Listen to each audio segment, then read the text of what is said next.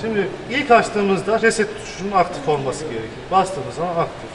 Veyahut da şu basılıysa hiçbir şekilde aktif olmaz. Acil butonu kaldırmamız gerekiyor. Tekrar Mekşi yeniden başlatayım.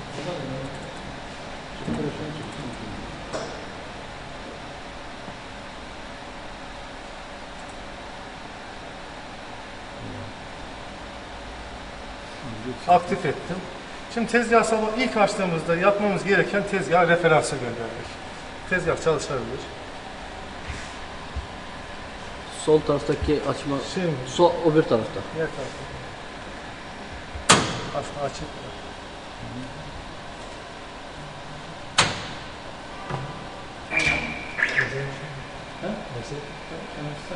Kuma gitmiyor yalnız ayarladım. Korkut, uyku sinirler.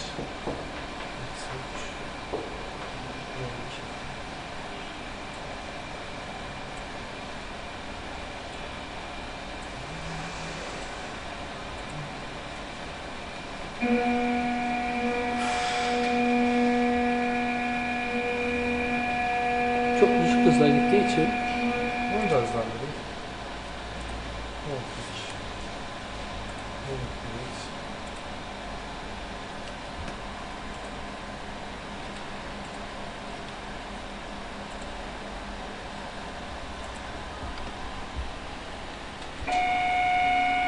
evet.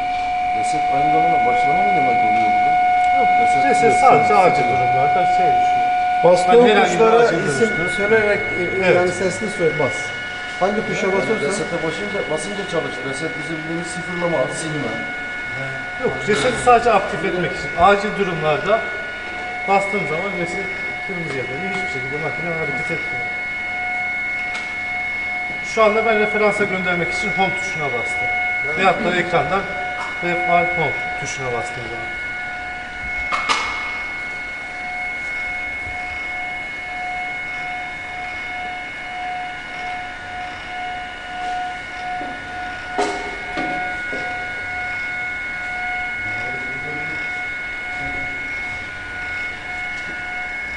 Sabah ilk açar açmaz tezgah referansa yollamamın sebebi de döner son içinde gres var. Biraz donuyor. Birden hızlı hareket verdiğimiz zaman hani dağılma ihtimali oluyor. Yani Uzun vadeli yapı, yapılmadan gitmesi. önce referansa gitmesi gerekiyor. Isıtması. Şimdi o referansa ayakla bir kez daha getirir misiniz? Sadece home tuşuna basmak. Onun dışında çok bir Daha önceden kodlamak gerekiyor ama. hız olarak. Hayır. E, referansı. Referans noktasını. Evet. Daha önceden e, bilgisayarda tanıtman lazım. Makineye tanıtmak Şu anda gerekiyor. tanıtılmış mı lazım? Şu an tanıtılmış. Hı hı. İşte onu bir daha biz nasıl tanıtacağız? Bozulur mu? Yok bozulmaz. Bozulmaz. Tamam. Şuradan herhangi bir ayar değiştirdikten sonra config, save setting yaptığımız zaman şu andaki ayarlar durmuş olur. Evet. Şimdi referansa gittikten sonra x0, y0, z0 diyelim. Şimdi makine ileri geri, sağ, şey ileri geri yön tuşlarıyla geliyor. Sağa sola gidiyor. Peş down, peş down, yukarı aşağı gidiyor. Makinenin bütün özellikleri bu şu Bazen anda. çok yukarı gittiği zaman kilitliyor. Hızla alakalıdır. Hız Hı hı. Oradan da hızı düşürmek lazım. Şuradan config, motor tuning, şuradan z ekseni, z ekseni 10.000 ayarlanmış. Aslında fazla bu tezgah için. 5000'i ideal. Şey hızlı olursa ucu kırabilir hani. Evet bağlandı. Şuradan save setting yaptığım zaman bunun ilerleme hızını 5000 ayarlamış oluyor. Diğer eksenler x ekseni 1800. Bu da çok yavaş. Bunu da altını yapıyor. Y ekseni o da 1800. Bunu da altını yapar. Şu vidal mid ince mi? Ona baktığımda. Bazı ayarlar değişmiş yalnız hocam.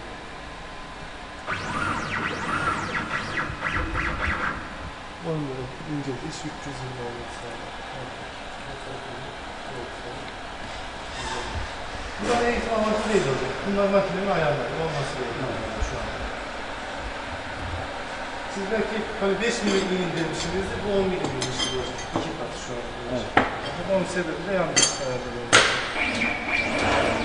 Makine sağa sola gidiyor. F5'e bastığım zaman spindle dönmeye başlar.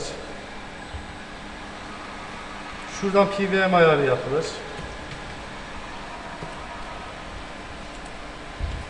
Kaç bin devirde dönmesini istediğimiz zaman. Peki şimdi makine işlem yaptınız, Evet. yazdınız G kodlarına ama bu hız yetersiz kaldı. Makineyi durdurup Yok durdurmadan da yapabiliriz. Şuradan. Değiştirebiliriz. oradan hızını Kısım, istediğimiz evet. gibi arttırıp Peki hızı, hızı neye göre arttıracağız? Kesimde farklı, yüzeyde farklı. Yüzey Talaş kes- çıktığı zaman mesela talaşa göre, sesine göre parçanın bunlar zamanla oturacak şeyler olacak. Hani mesela kesim yaparsanız çok fazla talaş verir, işi bozar. Hani genelde ortalama değer olarak o- Her işte değişir hocam öyle. Yani kesilen Uçağı- malzemeye göre hız, hız da değişebilir. Uçlara göre de değişir. Uçlara da göre. Kısa yollar da şunlardır. Artı artırır, eksi azaltır. Spinal'ın hızını.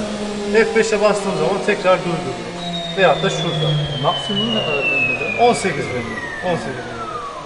Taba bastığım zaman el çarkı dediğim olay çıkar. Şuradaki slow jog rate makinenin hızıdır. Şu anda %85'te. Bunu düşürdüğüm zaman kısa yolu yumuşak G artırmada Ü'dür. Mesela iyice düşürdüğüm zaman makine oldukça yavaşlar. Çok yavaş. Evet. Bir ara işlerken baktık özellikle arttırdık. Yani %75'e mi 80'e mi? Ama sizin 1800'ü şu anda 6000'e falan aldı. Az önceki bayağı şeydi, yavaştı. Şu şekilde. Şunlar eksen. Eksen. Hem mouse'lar yine hareket ettirebiliriz. İleri geri sağa sola. El çarkında sadece yapacağımız bu. Parça sıfır alarken ben bunu mesela iki falan yapıyorum. Hani zeti iyicene yaklaştırdıktan sonra ucu kırmayın diye ikiye alıp iyicene yanaştırıyorum. Şuradan doğal G-koddan G-kod yüklenir. Mesela herhangi bir A harfi değil. Masanın üstüne atılmış bir G-kod. Şuraya bastığım zaman çıkar. Mac 3'ün şöyle bir özelliği vardır, diğer sistemlerde yoktur. Ekseni belirler. X0, Y0, Z0 dediğim zaman parçamın sıfırı benim sol alt köşe. Şu artı işaret ona gerekiyor. Şimdi diyelim ki program üzerinde herhangi bir değişiklik yapacağım. Onun için de Edit G koda basıyorum. Buradaki ifadeler hani tek tek satır satır izlendiği zaman daha iyi olur da Z1 mesela diyor ki Z ekseni 1 milim yukarıda olsun. F 1560, ilerleme hızı 1560. Bunu artırabiliriz hani buradan. Mesela 6000 yazayım. Enter dediğim zaman artık 6000 olur. Güzel. E, Şey yok yalnız orada bir dakika. Spindle. Speed diyor. Evet. Şimdi Her M3 üçün yanına S. Spindle çalışmaz. Onun için de S 18000 lira mesela çalıştırayım. M'nin bu tarafından mı bu tarafından mı? Sol tarafına. Sol tarafı. M3 açma komutu. Açma. Hı hı. Şuradaki Bu tarafına yazılırsa emin ne olur?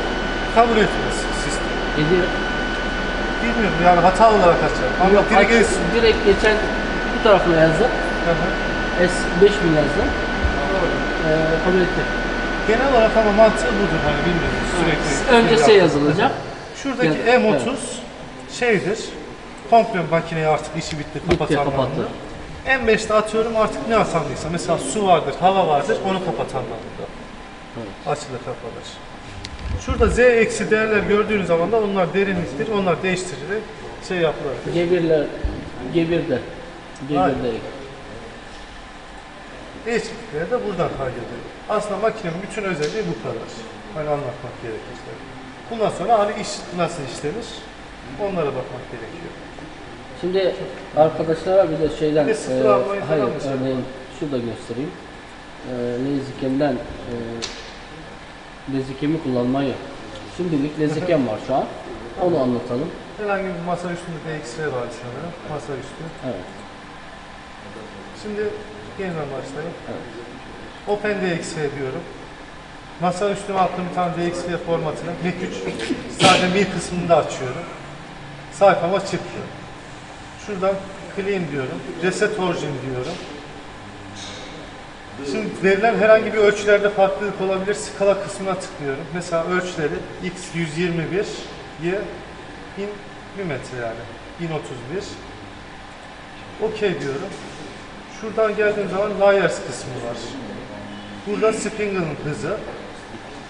kaç pasoda gideceği, takım çapı, ilerleme hızı, pulling feed'de dalma hızıdır. Hani aşağı yukarı takımların şeyi, hareketi. Şimdi seni buradan ayarladığımız zaman diğerine aktardığımız zaman şeye pek Daha gerek önce de var mı? ayarlı, ayarlanmış olanlar var örneğin. Tam kütüphane oluşturduğu Kütüphane şeyler. oluşturulmuş. Takım çapı 3, tek pasoda gitsin, ilerleme 300, dalış işi 100, spinner 12 bin.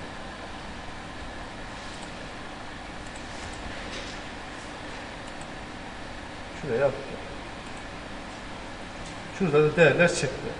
Şimdi çıktıktan sonra post koda bastığım zaman Şunu, şunu yazalım. Örneğin yazayım. yükseklik, bıçak yüksekliği 10 santim, 10 milimde misal yukarıda 10 milim o sıfır yukarıda eksi Eksi bir.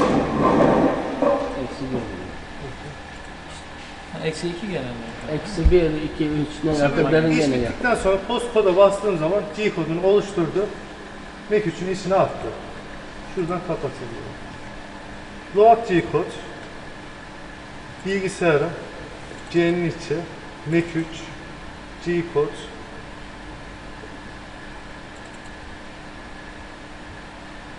Şuraya 22 olarak atması lazım. En sonda evet.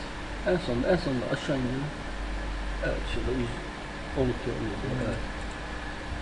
Evet. Evet. Şuradan edit G kod dediğim zaman istediğim şeyleri düzeltebilirim. Örneğin Z10 bakalım. verilmiş. Evet demin yazdık ama biz çıkmadı örneğin. Evet. Son bizim başımıza gelen, dün başımıza gelen buydu. Bu mu? Evet. Tekrar yeniden yapayım ben bunu. Z10 yükseklikten mi? De, şey, Artı değerler hep yükseklik. Artı- Eksiler de yani Bir ondan var. başlayacak. Bıçak 10 milimden, bir hareket santim ederken, yukarıdan. bıçak Bir hareket santim yukarıdan ederken bir santim yukarıda hareket Hareket var, ediyor. iş parçasının üzerinde hareket etsin. Ama eksi, Ama- eksi en alttaki eksi yazdığımız eksi 10 misal o derinlik 10 mi? milim derinliğe insin. Tekrar yeniden yapayım. Open DX'de. Ama Masanın dün üstündekini seninki al. kambur Evet. diye çarptı. Şurada harekette hangi nereden başlayacaksak o bunları Şu. hareket ettirerek e, oynatabiliyoruz, Değiştirilebilir. değiştirebiliyoruz. Evet. Mesela şunu tutup üste sürdüğüm Evet, zaman sonra ilk önce combo başlamak. Çok önemli değil Bir aslında de bu tall yazı. stand, tall stand, Ama tall ç- stand. çerçevede önemli. e, auto king dediğimiz zaman e, sanırım başlangıç Orijin noktası, noktasını orijin noktası alıyor. alıyor. Ama şurada reset origin dediğiniz zaman Reset da yine- orijin de alıyor. Hı. Dediğim gibi bu çok profesyonel bir program değildir. Hani işinizi görebilecek bir program değildir. Adam kesim haricinde. O zaman şu cihaza Mastercam'i de yükleyelim. CD olarak yollarız ama şey Şu an buna yok, yüklenmiyor. elinizde yok mu? Yok. Ama Mastercam'in de şeyi farklıdır. Mastercam'in mesela yerine bunu çözerseniz biz size Artcam'i yollarız. Arkem. Arkem 3 boyutlu yani Kabartma. mas- kabartma yapmak için. Kabartma işlemi. Kabartma ve resimi Kesim Evet. işleri için Mastercam yeterli. AutoCAD yeterli. Ondan sonra şey yeterli. Kore. Hani bunu kullanabilirsiniz. LazyCam'de de sadece bu kesimi yapabilirsiniz. Hani kabartmayı falan bundan yapamazsınız. Cep boşaltma falan düzgün olmaz. Kesim işlerini Aha. las, le, laser cam'de. LazyCam'e biraz amatör kalır ama yani o işleri kullanabilirsiniz. Bu Lasercam şeyin içinde Makuch'un kendi programı zaten. Hı hı. Orijinal lisanslı şey.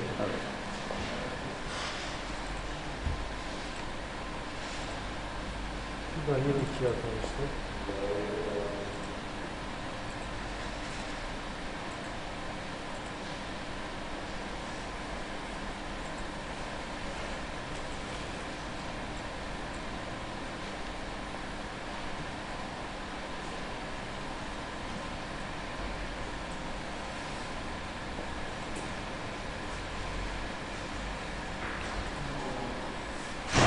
O 12 18. 12 18.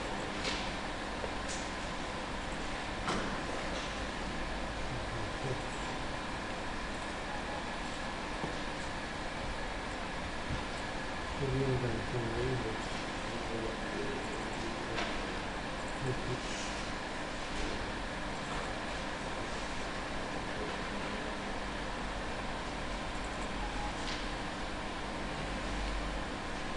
Tekrar bunu bir havada sıfır aldım bir çalıştırdım. Yine yanmadı. Yeniden yazmadı da şuraya belki de atmak gerekiyor şeyi. Dediğim gibi ben bunu çok kullanan birisi değilim reis. Makineyi sıfırını alayım, havada başlatayım. Bas. Çifte bastığın zaman şu anda yavaş hareket ediyor ama çifte basıp ileri yaptığın zaman da hızlı hareket ediyor. Klavyenin üzerindeki kısa yol. İsterseniz kendiniz de atabilirsiniz bunları. İstediğiniz harfe göre. Böyle bir özelliği de var. Şimdi parçamın sıfırını aldığım zaman benim sıfırım şurada çıktı. İstediğin köşeden sıfırlayabilir miyim? Buradan veya bir taraftan. İstediğim yerden sıfır alabilirim ama kem hangisine göre yapıldıysa mesela çizim oraya almak zorundayım. Ha, Hani mesela göre. bir parça bağladıysam ya şuradan çizeceğini bilmem lazım. Hani sol köşesinde. Şu benim parçam olsun. Bu buradan şuraya işleyecek. Yeşil butona bastığım zaman veyahut da Cycle Start'a bastığım zaman işi işlemeye başlar. Hocam şu anda spin yok. Direkt en üstüne sadece çalıştırdım. 7200'de herhangi bir değer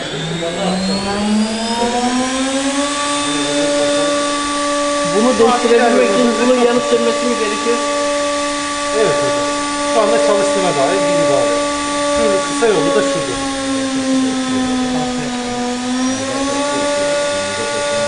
Şu anda ilerlememiz zaten bir verilmiş ya. Sana az önce yanlış verdik. Mesela durduruyor. Stop over. Edit kod dedi. Şu ilerlememiz şu anda makine çok yavaş. 300 yapıyoruz. Misal. 2000 yapıyor. 2000. Kısa kısa bilme gibi ihtimalim var benim makinenin üzerinde. Kaydet dedim. Kaldığı yerden devam etmez. Onu ayarlarsak ona da. En baştan tekrar kesin. Diyelim ki program ortada kaldı. Revit CTRL'e V'ye bastığım zaman da program en başına atar. Sekmeyi. Tekrar start diyorum. İlerleme şuradan kısa.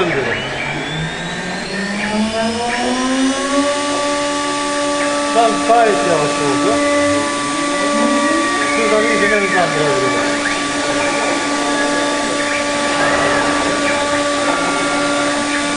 İlk set ilerleme öncesi.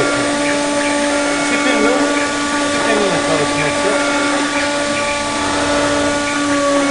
Şuradan düşürdüm. Şuradan bir şeyin kaç saniyede yapıldı, ne kadar zamanda yapıldı diye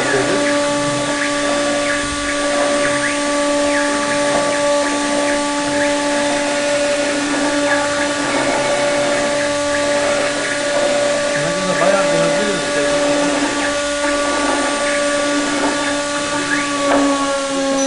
Sıfırı biraz Saat 1'de gel.